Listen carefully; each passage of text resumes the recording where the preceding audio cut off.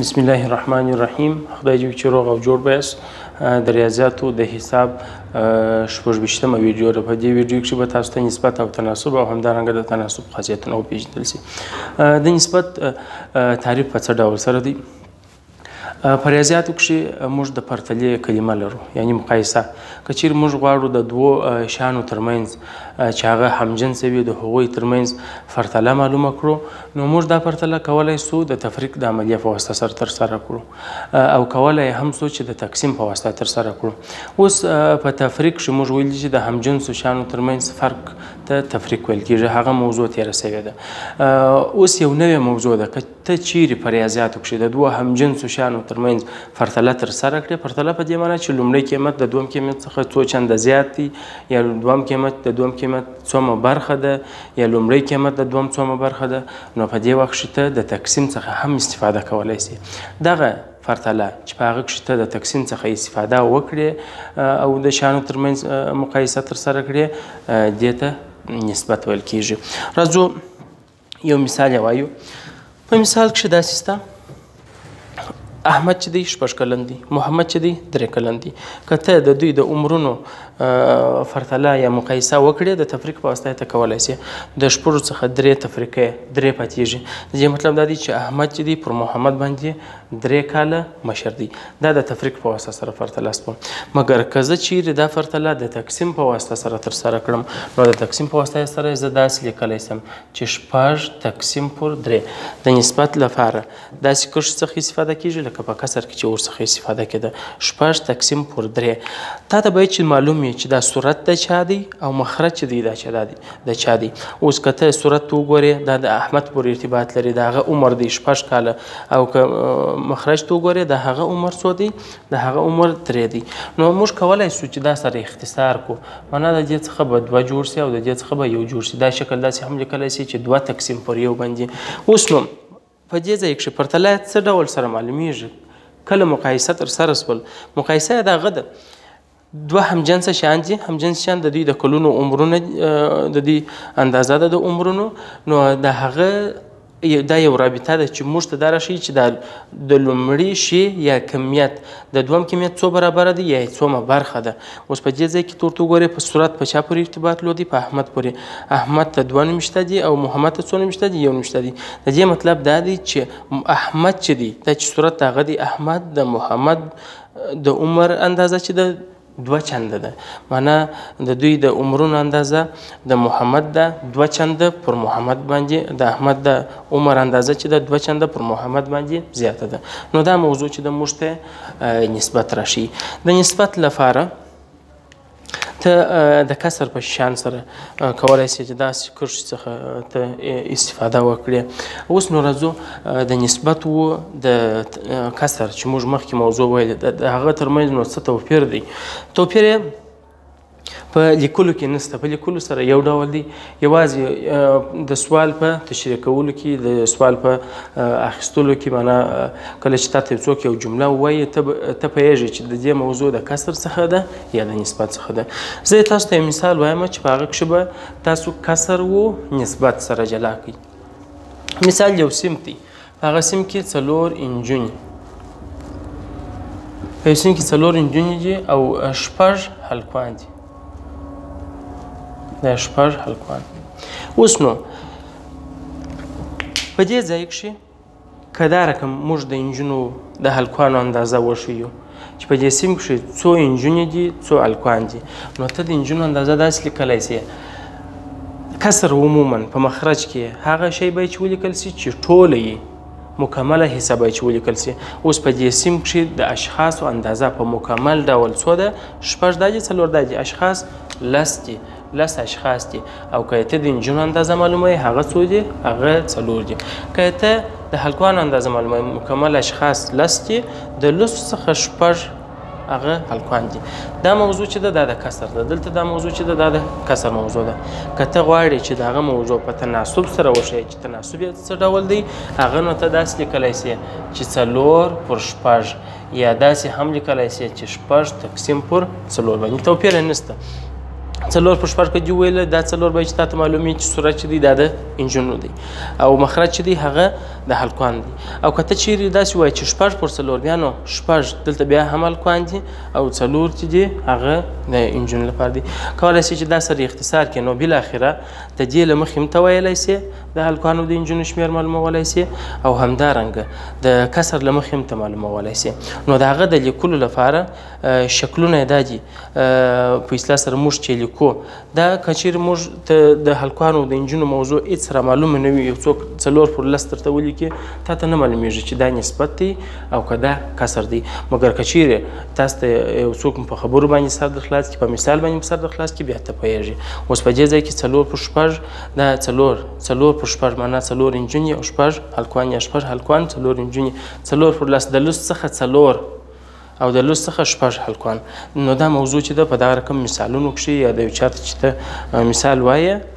بیا سر په خلاصېږي چې دا نسبت دی او که کسر دی راځو بله موضوع په موضوع کښې موږ څنګه کولای سو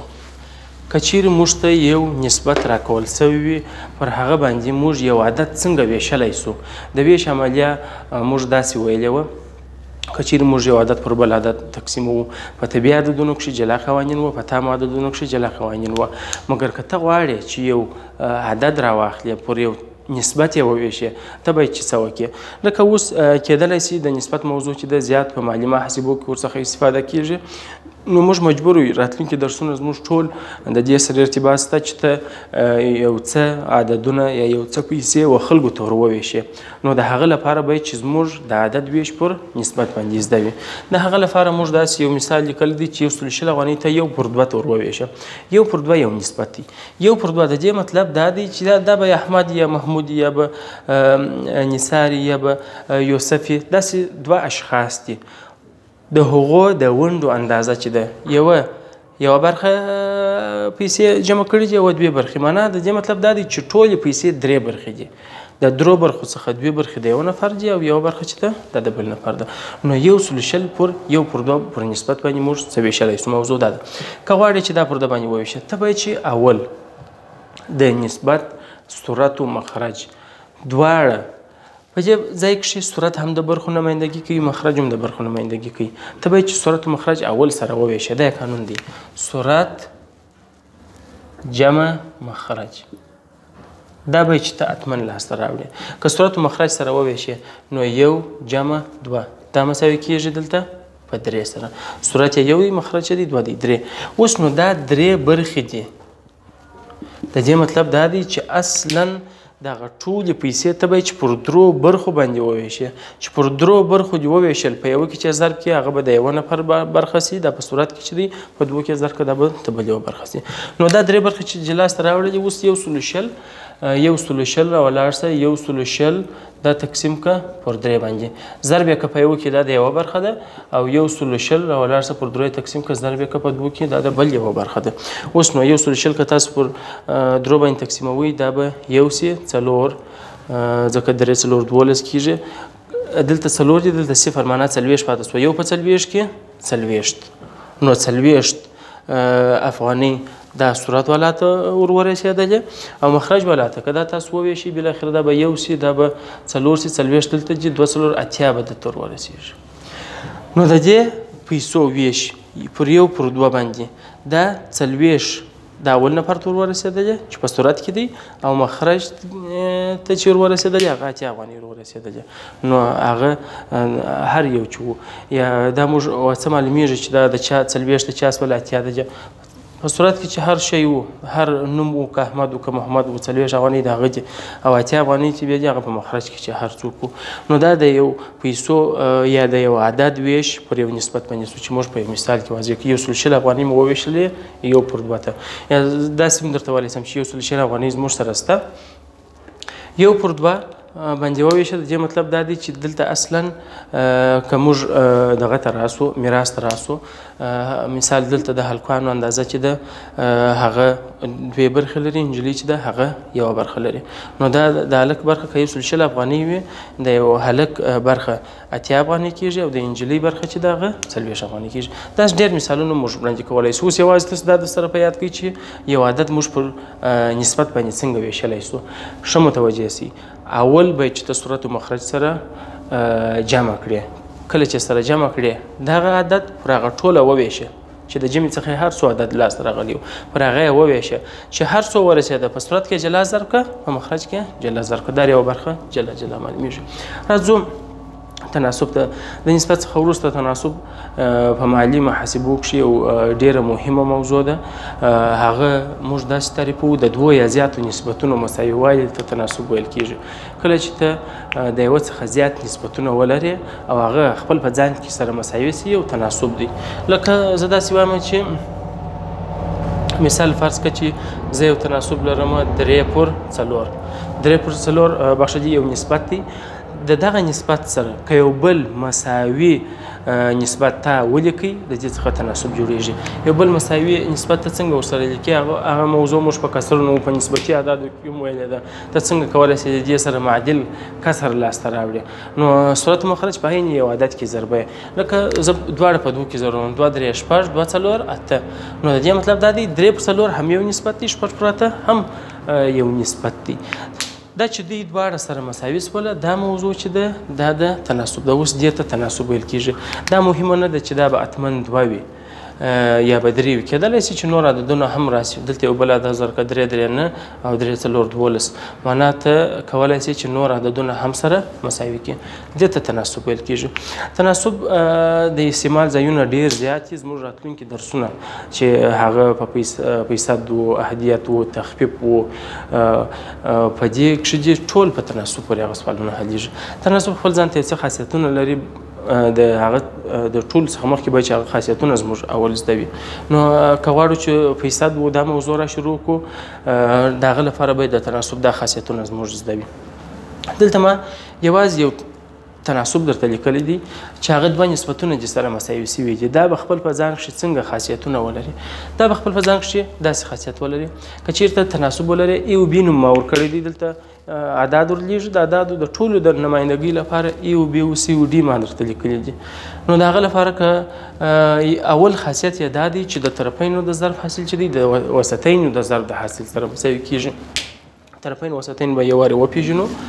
که چیرې دا دوه تناسبه موږ ولرو په دې دوه تناسبو کښې ته درې پر څلور داسې هم لیکلای سي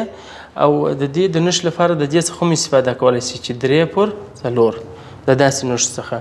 دا مساوي دی شپږ پر اته د دې نښ څخه هم استفاده کولای سي داسې هم کولای سي شپږ پر اته دې څخه هم استفاده کولای سي نو اوس په دې ځای کښې په تناسب کښې هغه لومړنی تر ټولو مهم چې ستاسو زده وي د طرفین او وسطین معنا به چې ستاسو زده وي اوس که چیرې تاسو دې دوه عددونو ته وګورئ که تاسو دې دوه عددونو ته وګورئ دا د دې دوه په مابینس کې پراته دي او که چیرې دغه دوه عددو ته تاسو وګورئ دا چې به دي په اطراف کې پراته دي یو طرف دا دی یو طرف دا دی نو دې ته په تناسب کې طرفین ویل کیږي طرفین او دا په مابینس کې چې پراته دي دې ته وسطین نو په تناسب کې طرفین او وسطین ډیر مهم دي طرفین او وسطین چې دي او په دې ځای کې تاسو وښایست درې او څلور ګوره که ښه داسې د دې خوا څخه داسې راسو دا طرف یې طرف سو دا طرفین سو نه درې او اته دلته هم درې سته دلته هم اته سته درې او اته طرفین سو وسطین دا برخه چې بیا ده دا بیا وسطین سوله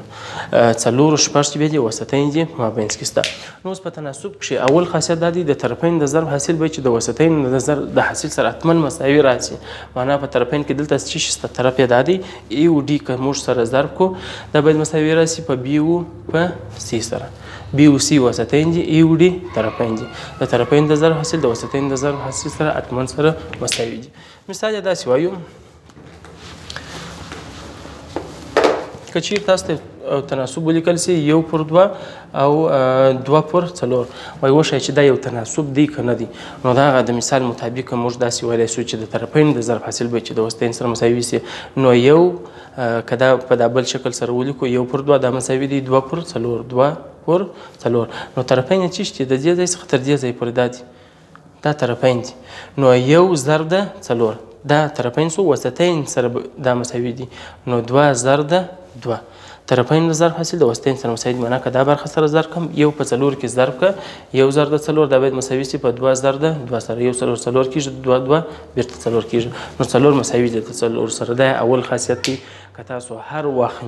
تناسب معلوموئ چې دا تناسب دی که نه دی نو تاسو باید د طرفین د ضرب حاصل د وسطین د ضرب د حاصل سره مساوي کړئ یا که موږ داسې یو مثال ووایو چې درې پر دوه دا مساوي دی یو پر دوه یو څوک ته وایي دا تناسب دی نو تر هغه وخته پورې چې ته مطمئنه نه سې چې دا تناسب دی که نه دی پر هغه سوال به ته کار لا نه کوې نو اول باید چې ته متوجه سې چې دا تناسب دی که نه دی اوس که دې ته تاسو وګورئ درې په دوو کې دا طرفین دی درې ضرد دوه دا باید مساوي سي د یو ضرد دوه سره یو ضرد دوه سره دوه درې شپږ کیږي دا مساوي یو دوه هغه دوه کیږي شپږ نو کله له دوه سره مساوي دي نو اصلا موږ وایو چې دا یو تناسب دی نه نو تر ټولو مهم په خاصیتونو کښې که تاسو غواړئ چې تناسب معلوم کړئ چې دا دی کنه دی باید د طرفین د ضرب حاصل یې د وسطین د ضرب د حاصل سره ور مساوي کړئ راځو بل مثال ته کېدلی شي چې راتوی په یو تناسب کښې که موږ ته تناسب راکول سوی وو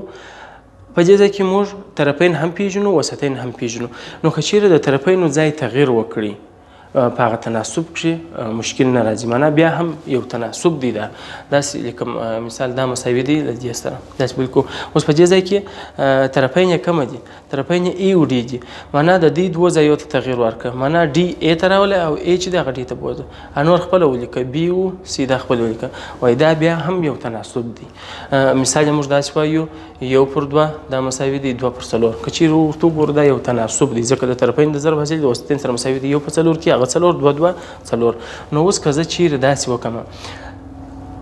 دوه مساوي دوه معنا وسطین خپل پر ځای ولیکم د دې دوه ځایونو تغیر څلور دلته راولم یو دلته راولم د دې څخه بیا مې تناسب جوړیږي ځکه تناسب دی چې که ته غواړې چې امتحان وکې یو په څلور کې څلور دا مساوي دی دوه دوه څلور نو د طرفین د ضرب حاصل د وسطین د ضرب حاصل سره مساوي سو دا د دوهم خاصیت لپاره راځو دریم خاصیت لپاره کچیره وای تاسو د وسطینو ځای ته تغیر ورکړي بیا هم دا یو تناسب دی د وسطینو ځای ته که تغیر ورکوي دا مساوي کیږي په دې برخې سره وسطین بی او سی وسطین دي نو تاسو ای او ډي خپل ولیکي ای او ډي تاسو خپل ولیکي ځکه دا طرفین دي وسطین ځای ته تغیر ورکړي سی دلته راوله او بی دلته راوله دا به هم یو تناسب وي مثال موږ بیا وایو درې پر څلور دا مساوي دی شپږ پر اته سره کله چې ورسره مساوي سو راځي دا یو تناسب دی درې ته درې ته څلور ویشت کېږي څلور شپږ څلور ویشت کېږي د طرفین د ضرب حاصلې د وسطین سره مساوي دي نو اوس ته د دې وسطینو ته تغیر ورکړه معنا درې و اته دا خپل ولیکه وسطین دا د شپږ څلور ته راول څلور شپږ ته معنا شپږ دلته ولیکه څلور دلته ولیکه بیا سره وګوره چې یا دا تناسب سو کنو سو درې ته دا باید مساوي سي څلور زر ده شپږ سره درې ته څلور ویش کیږي دا مساوي کیږي څلور شپږ څلور ویش سره نو دا هم یو تناسب سو بیرته راځو که چیرې تاسو سورتونه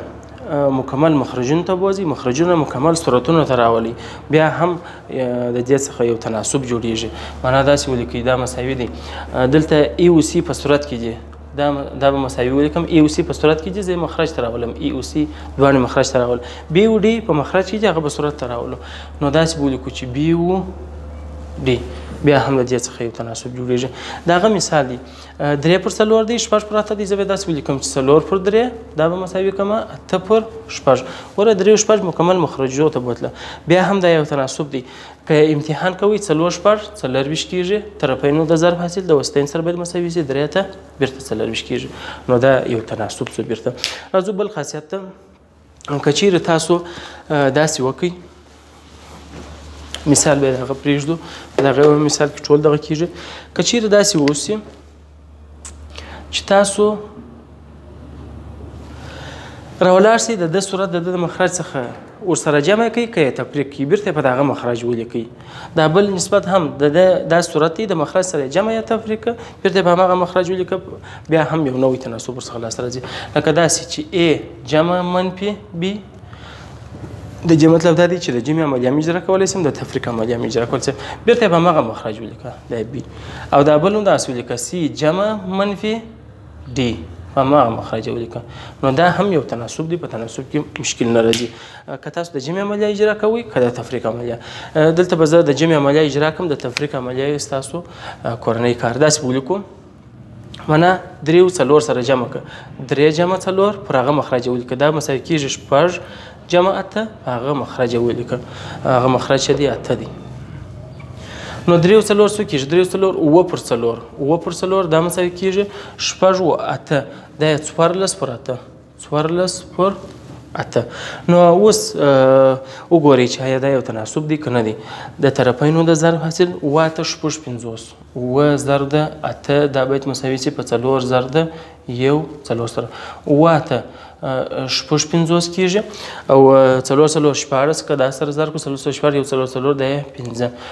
معنی شپږ پنځوس مساوي سوله له شپږ پنځوس سره شپږ پنځوس مساوي سوله له شپږ پنځوس سره نو په دې تناسب کې تغیر نه راځي که تاسو کولی شئ د درو څخه څلور تفریق کړئ د شپږ څخه اته تفریق کړئ بیا سره ولیکئ سره ضرب یې کړئ صورت طرفین د ضرب حاصلې د وسطین سره وګورئ بیرته به هغه سره مساوي وي د تفریق عملیه ستاسو کورنۍ کار هغه د سره اجرا کړئ بل